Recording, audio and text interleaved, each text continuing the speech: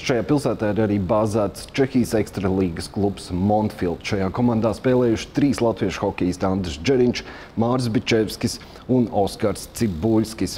Tieši Oskars jau trešo sezonu spēlē šajā komandā un par viņu arī nākamajā stāstā.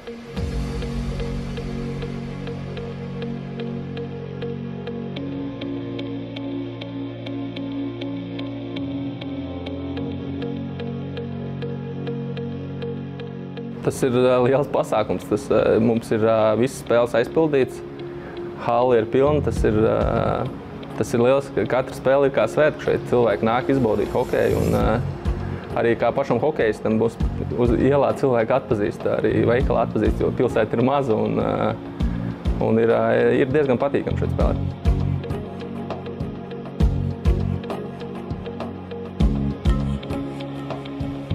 Mums līdzjutēji ir ļoti prasīgi rezultātu gaida, arī komandas vadība rezultātu gaida. Un, šogad mēs esam pa vidu un komanda ir laba un mēs spējam uz daudz augstākiem rezultātiem. Līdz ar to arī gan fans līdzjutējs, gan arī komanda prasa mums rezultātus regulāri.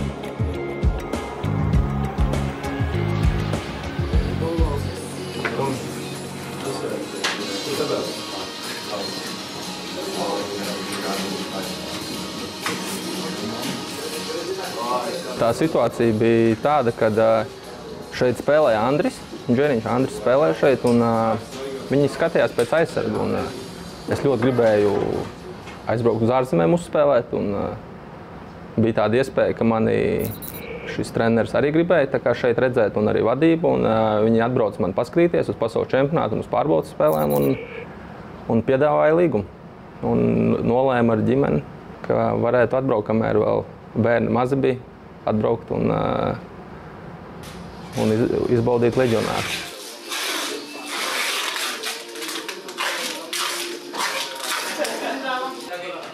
Principā ir tā, ka uh, uzticību viennozīmīgi vajag uh, iekarot šeit. Un, uh, tāpat vien nekur neņem kā leģionāri tīpaši. Un, uh, droši vien arī liels paldies Bukartam, jāsaka, kas pirmais atbrauc to karogu, kā saka, ienes Čehijā un uh, palīdzēja iespējams mums visiem pārējiem, kas te ir arī atbraukt. Un, Tā kā, nu, viennozīmīgi, ka tikt šeit nav viegli. Un, arī noturēties nav viegli un ir jācīnās. Un, bet nu, viss ir iespējams.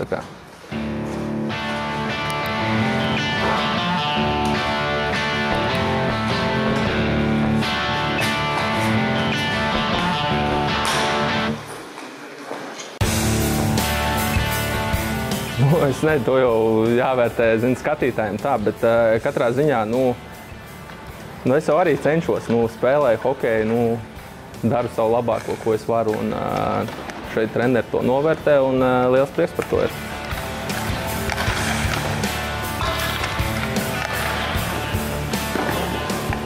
Grūti pateikt, nu, uz, es tajā čempionu līgā spēlēju, un cik pārējās komandas, nu, principā visur ir daudz maz līdzīgas tās komandas. Un, var cīnīties par uzvaru principā jebkuru komandu. Un arī Čehijā ir eh, tā, ka eh, principā desmit komandas ir diezgan līdzīgas un var spēlēt viena ar otru. Pirmsezonā pārbaudas spēles ir pret arī KHL komandām un arī tur līdzīgs ar līdzīgiem spēlē. Tā kā, nu, ir grūti pateikt, kur tas līmenis ir uh, stipri augstāks vai, vai, vai nav.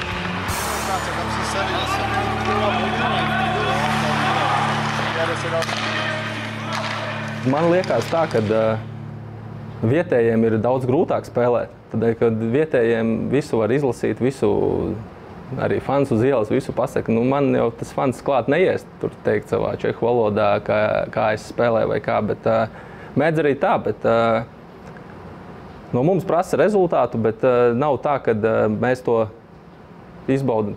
Arī tas pats treneris, kad ģērbtu vai runā, viņš runā čehiski, ka es varu laist grausiem daudz maz visu. Bet, uh, vai arī nesaprast kaut ko. Bet eh, Čeks jau viņš saprot visu, arī visu, kā, kas ko apkārt notiek.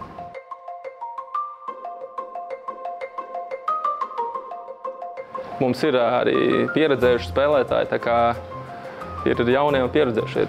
Visi viens otru, arī pieredzējušie klausās, ko jaunie saka. Tā kā nav tas vienā virzienā.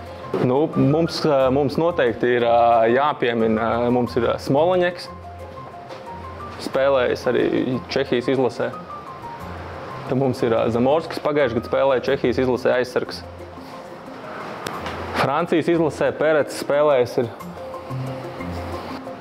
Šeit ir no Slovākijas Cingels, Rosandičs spēlē. Nu, un, protams, arī, kur mums arī Kaukals ir komandā. Droši vien daudzi, daudzi hokeja fani zina Kaukalu. Tad mums ir Vārtsargs Mazaņets, arī NHL uzspēlējis. Nu, Červenīs, jā, KHL spēlēs, un tad ir jaunie džeki. Tad ir rekulīnija ar jaunajiem.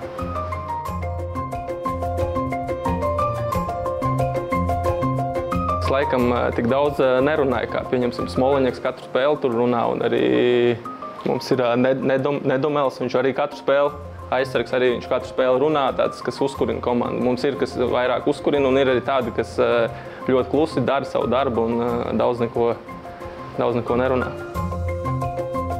Es šeit esmu bijis pārbaudas spēlēs asistents. Tā, kā, nu, bet, nu, tā loma nav. Nu, Jo šeit nav, es arī es esmu arī kādu skarbāku vārdu arī pateicis pēc kāda zaudējuma, un arī jaunais ir kāds pateicis. Kā, nu, mēs viens otru mēģinām atbalstīt un uh, mēģinām uh, Mēs visi esam vienā laivā. Nu, jā, re, kur mana vieta, šeit es sēžu. Principā mana forma, jā. Cimdi, Warriors, jā, mums uh, jāspēlē ir ar CCM, bet uh, Warrior ir Champions līgai un uh, Champions līgā var ar Warrioriem spēlēt. Jā, tad mums visiem ir ar Warrioriem tur jāspēlē. Pār, tā, kad ir uh, Tad Čehijas līnija, tad ir CCM jāspēlē. Jā, jā uz Champions League līmē ciet. Vēl jau tagad arī ir aizlīmēts cietri, kur ne, nevar redzēt, ka ir CCM, bet uh, tas dēļ Champions League ir. Nē, nu noteikti mums, uh, mums bija pret Frolundu spēle. Ļoti, ļoti labs sastāvs Frolundai. Un, uh, mēs reāli gribējām arī vinnēt. Un, uh, un, uh, līmenis, salīdzināt to līmeni, vai mēs varam vai nevaram. Un arī tās pati pret Zūgu tas pats arī ir un pret Manheimu. Tā kā, nu, uzdevums vienmēr ir, nu, nekurš negrib zaudēt, kurš, kurš grib zaudēt, neviens jau negrib zaudēt. Un, mēs arī ejam, mēs gribam uzvarēt. Nu, sanāk, nesanāk, tas tā ir cita lieta, bet uh, katrā ziņā jā, un uh, šogad arī vadībai uzdevums nav tā kā bija citus gadus. Šogad arī mēs kā, cenšamies kā, tikt pēc iespējas tālāk.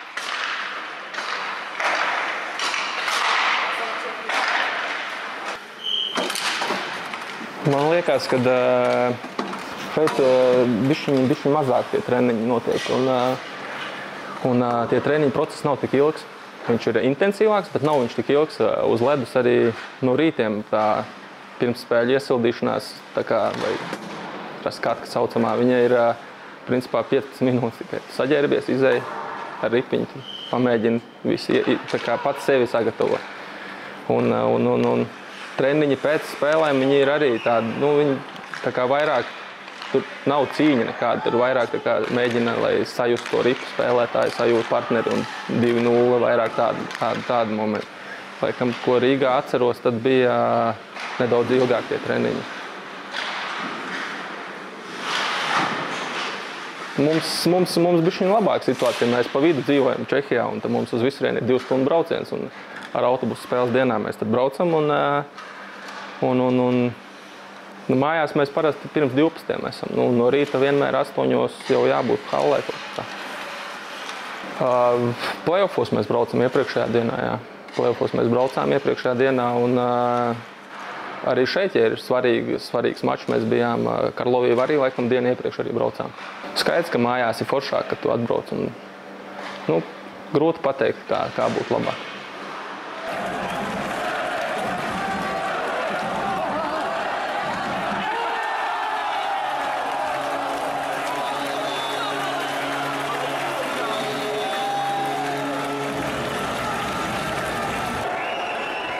Īstenībā diezgan interesanti. Nu, tas kaut kas savādāks. Tie, tie fani ir uh, pilnīgi savādāk. Viņi tur ar karogiem, viņi tur nokrāsojušies, viņi visu spēli nokliedz. Es, es ļoti pārsteigts, es dziedu dziesmas visu spēli. Un, uh, tas ir bijis savādāk, kā, kā es atceros, kā Rīgā bija un vispār KHL.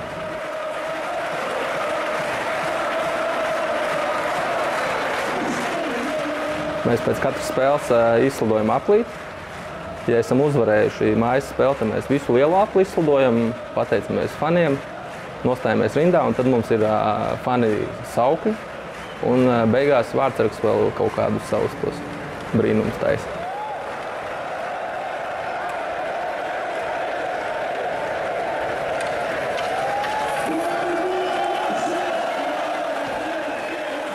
To, ko mēs uh, regulāri darām, tas jau no sākuma atnāca. Tu ieraugi, ko visi citi dara, un tu jau zini. Bet, uh, es vārdsarg, vārdsargiem tur katru reizi kaut kas cits jādara. Tad viņi laikam domā, ko darīt pēc tam uzvarām.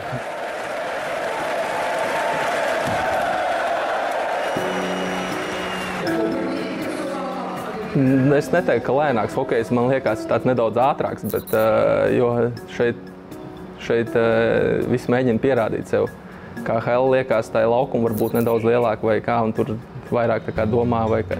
Grū, grūti spriest, ir, kur ir ātrāks hokejs. Bet, nu jā, es principā teiktu, ka Čehijā ir ļoti, ļoti līdzīgs KHL, KHL līmenim. Vismaz top 8 komandas noteikti.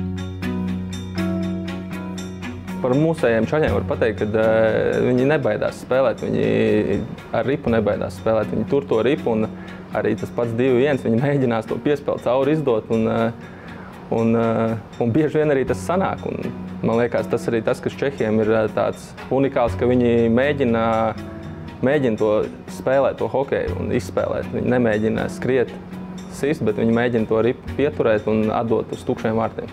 Nu, šitien mums ir masāžas telpa. Rek, mēs jau salikt mans, ir gatavošanās braukt tā kā jau rīt uz Kladno. Mums spēle pret Kladno rīt, tā kā pret Jāgraku jāspēlē būs. Bet uh, salikts jau tā kā nedaudz. Bet uh, jā, šitien mums masāžas telpa.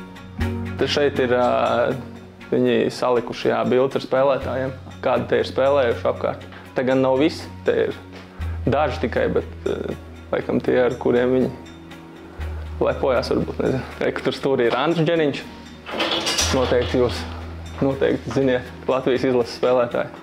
Tad uh, viņiem šeit bija treneris Leons, uh, Draicētlis treneris bija. Un uh, trenējās laikam šeit arī pats Leons Draicētlis. Tā kā arī šeit bija. Tad te ir uh, no Detroitas Hroneks jaunais čalis, kas šeit nospēlēja visu savu jaunību. Viņš, viņš arī šogad bija Čehijas izlasē viens no līderiem. Rudijs Červenīs ir tas, kas arī ir no, no šīs pilsētas. Tie ir viņu kā, vietējie fani, viņus nu, visvairāk atbalsta. Bet nu, noteikti var par leģendām teikt arī Bednars. Ir, viņš ir viens no lielākajiem. Es tagad to bildi nezinu, kur viņam ir, bet viņš noteikti bildi ir. Bet, jā, šeit ir Bednars. Viņš arī NHL nospēlējis vairākus gadus. Viņš šo, šobrīd ir mums menedžers arī komandā atbildīgs par spēlētājiem. Viņš bija viens no lielākajām leģendām. Tad mums bija Šimaneks, Čehu, Čehu leģenda. Tur augšā stūrī var redzēt. Jā, un nu, reku tur arī es esmu stūrī augšā. Ne, tur man viena bilde ir. Un šeit ir ar Latvijas izlases krekla arī mana bilde.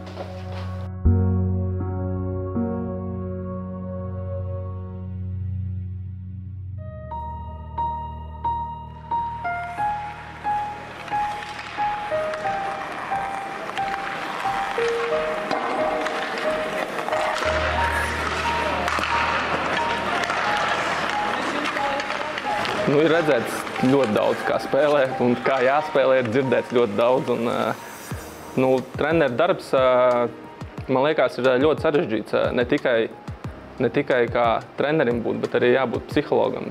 Jāizturās pret visiem džekiem vienādi. Un jārespektē visi un jāklausās visos. Un tas tā kā laikam, ka tev ir 30 bērni pašam un tev ir, katru ir, katram jau savs raksturs. Ir, tev jāzina, kā ar kuru apieties. Un, man liekas, tas ir ļoti sarežģīti. Un, Bet jā, no, no, no trenēšanas, no taktiskā viedokļa, es, esmu, es domāju, ka es eh, labprāt arī kaut ko tādu varētu arī nākotnē, nākotnē skatīties, kaut ko varētu. varētu. Bet, nu, kā jau teicu, tad uz to ir jā, jāstrādā, jāmācās, jāsaprot tas viss.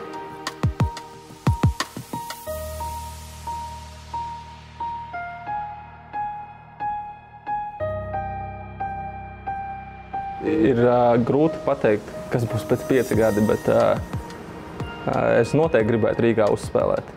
Un, eh, tie tomēr, tā, tās tomēr ir mājas, un tur ir eh, ģimene. Un, eh, un tas arī ir KHL. Tomēr KHL arī tas, tas, tā ir arī zīme, kur jebkurš hokejs droši vien gribētu uzspēlēt. NHL un KHL tā arī ir augsta latiņa. Un, Bet, ko es, nu, Čehijā arī nav slikts hokejs, un, un līmenis ir augsts. Un, uh, es noteikti šeit arī labprāt spēlētu arī turpmāk.